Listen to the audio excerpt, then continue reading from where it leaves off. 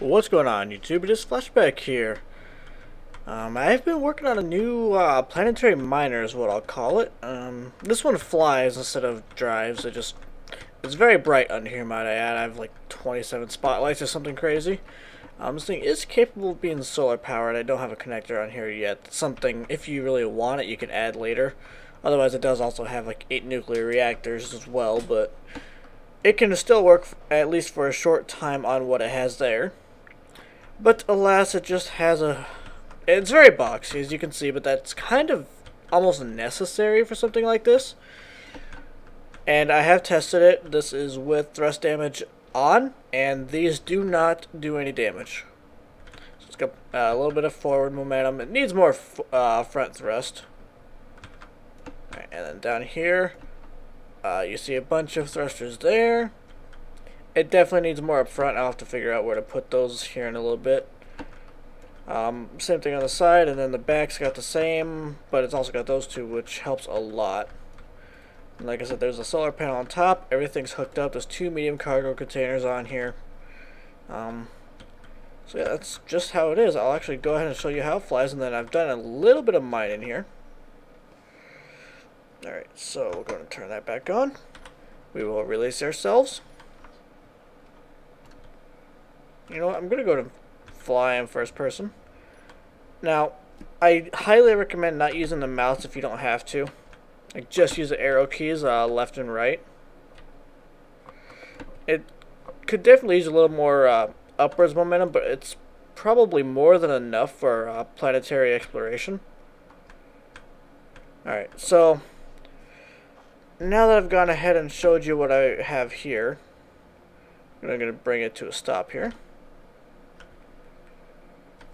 Yeah, as you can see, it is actually quite nice on the inside. I mean, if you can call it an, an inside per se, but... So over here, we have, it's actually not named over here on the beacon at least. Let me go ahead and change that. I can actually do that up here.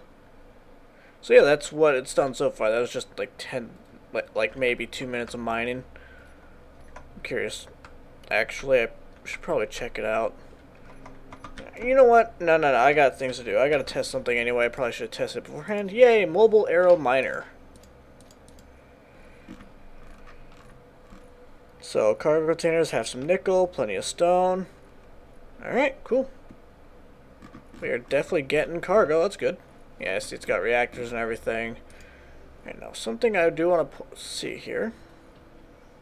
Ah, remote control.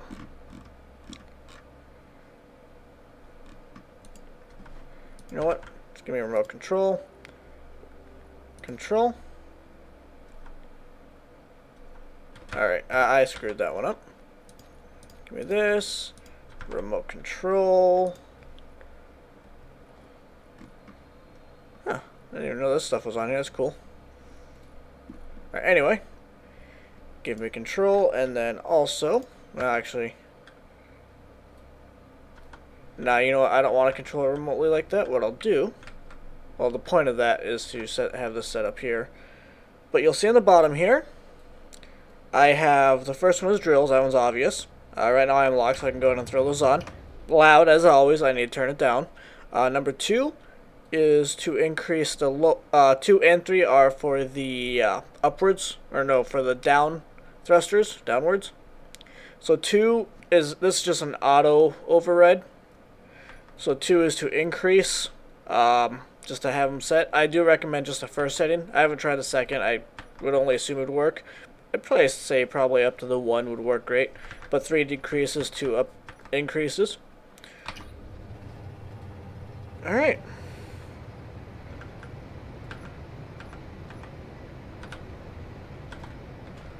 Alright, so it's going to go to town now and get to work. And we're going to try and get out of here. Which is sometimes easier said than done. Oh yeah, yeah, it's mining. It's mining. I'm gonna go ahead and get that set up right now, actually. Alright, give me the Aero miner. first things first, I need the beacon. Name. Um, Aero mine. If I could use more than one hand, my cup is in the way, which makes it a little more difficult. There we go. That is not quite what I was looking for. And max that out, why not? There we go. Alright, so control panel here. We're going to go ahead and remote control it.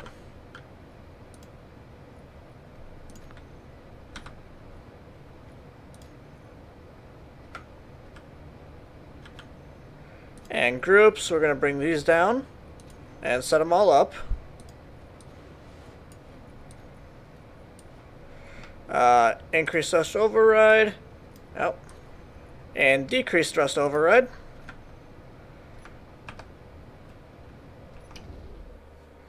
And I have one landing gear in proximity, so I'll go ahead and lock it. And I will come over here and check it out. So, I'm not sure why it hasn't gone lower here. I mean, it has gone a little bit lower. So, let's go ahead and get that set up again. I just want to show that you show you it does work. I mean, you can tell it flies, obviously. I got it over here from over there. Alright, so let's go ahead and get that set up then. Alright, remote control. And it does also have a camera on the bottom if you do want it, but I don't really see any reason to. Remote control, yeah. Alright, so throw that on.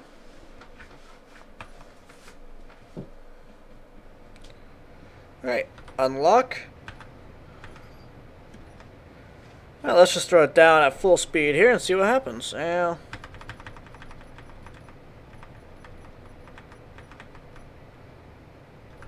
Probably don't need it quite that fast. We'll go up to like half the max.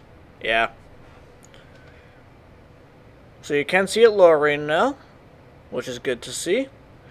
Now, it's not the fastest miner, but that all depends on what your mining speeds are set to. Um, I'm going to make a large ship version of this as well.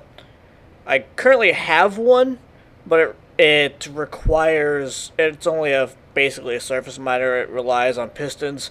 It's also in the workshop if you want to check it out. This will also be in the workshop. Um, if you want to see more of this, or any of my other Space Engineers content, remember to leave a like, comment, and subscribe. And we will see you next time. And let's get this stopped here.